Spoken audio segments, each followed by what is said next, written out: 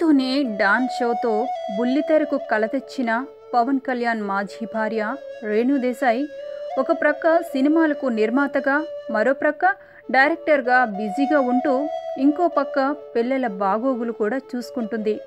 ఇక ఇదే కాకుండా బుల్లితెరలో కూడా హోస్ట్గా వ్యవహరిస్తూ తెలుగు ప్రేక్షకులకు మరింతగా చేరువవుతోంది.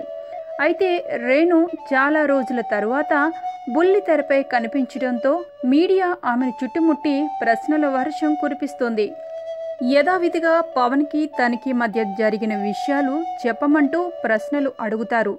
ఇది అంతా మామూలే అయినా కొత్తగా తను చెప్పిన విషయానికే అందరూ కాస్త షాక్కి గురి అవుతున్నారు. తన ఆరోగ్య పరిస్థితి బాగలేనప్పుడు తన ప్రక్కనే ఉండి ఎవరైనా తనకి తన పిల్లలకి సపోర్ట్గా ఉండడానికి ఒక తోడు ఉంటే బాగుండును అలా ఉండాలి అంటే నేను మళ్ళీ పెళ్ళి చేసుకోవాలి అన్న ఆలోచన నాకు వచ్చింది అని అంది రేణు. మళ్ళీ పెళ్ళి చేసుకుంటే మర్యాద ఉండదు. మీరు మళ్ళీ పెళ్ళి చేసుకోవద్దు అంటూ వరుస వార్నింగ్లు వెళుతున్నాయట రేణుకి.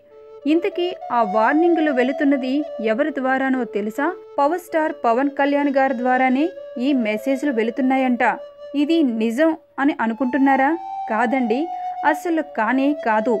పవన్ కళ్యాణ్ ఎప్పుడు ఇలాంటి వార్నింగులు ఎవ్వరికి ఇవ్వరు. తనకు కావలసిన వాళ్ళందరూ ఎప్పుడూ బాగుండాలనే కోరుకునే వ్యక్తిలో మన పవన్ కూడా ఒక్కరు.